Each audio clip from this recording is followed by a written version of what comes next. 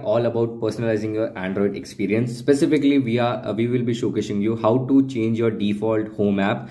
This app controls your home screen see uh, where you see your apps app widgets and wallpaper. Maybe you're tired of the stock launcher and want something uh, with more customization or options or perhaps you discovered a new launcher with amazing feature. Whatever the reason is follow these simple steps to change your default launcher or to change up the launcher. So simply get into your mobile settings the icon usually looks like a clock or a gear icon. Now depending upon your device brand for pixel phones it might call apps under notification and on samsung it would be apps. So let's find and select the apps from settings.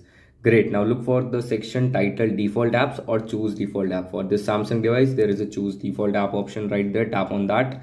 Here you will see a bunch of default app categories. Find the one that says home app and tap on it so this is the home app tap on it bingo. This is how you you uh, this will show you a list of all the launchers app currently installed on your phone. Just choose the one you want to set as default. So suppose i'm currently using one ui as my default home app or the launcher app.